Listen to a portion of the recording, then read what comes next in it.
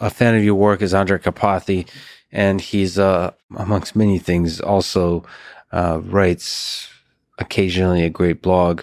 And he came up with this idea. I don't know if he coined the term, but of software 2.0, uh, where the programming is done in the space of configuring these uh, artificial neural networks. Is there some sense in which that would be the future of programming for us humans, where we're less uh, doing like Python like programming and more um, how would you how would that look like? But basically doing the hyperparameters of something akin to a biological system and watching it go and keeping adjusting it and creating some kind of feedback loop within the system so it corrects itself.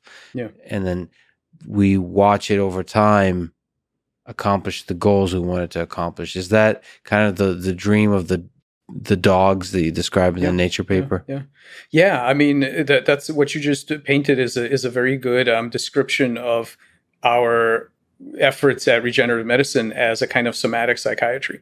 So the idea is that you're not you, you know you're not trying to micromanage. I mean, think think about the limitations of, of of a lot of the medicines today. We try to interact down at the level of pathways, right? So so we're trying to micromanage it. What the, what's the problem? Well, one problem is that for almost every medicine other than antibiotics, once you stop it, the problem comes right back. You haven't fixed anything. You were addressing symptoms. You weren't actually curing anything again, except for antibiotics. Uh, that's one problem. The other problem is you have massive amount of side effects because you were trying to interact at the lowest level. It's right. It's like I'm gonna, you know, I'm gonna, I'm gonna try to program this computer by changing the uh, the melting point of copper. Like maybe you can do things that way, but my God, it's hard to to, to program at the right at the at the hardware level.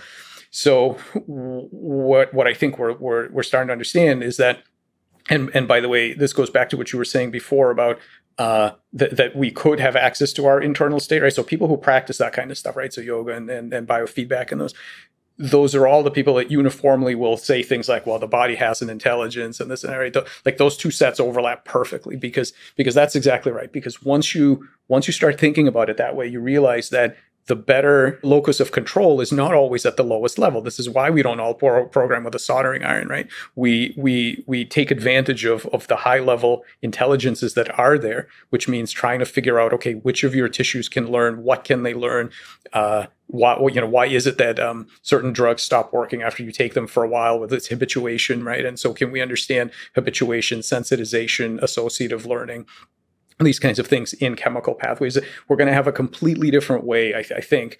Um, we're going to have a completely different way of, of using drugs and of medicine in general when we start focusing on um, the goal states and, and on the intelligence of our subsystems as opposed to treating everything as if the only path was micromanagement from chemistry upwards.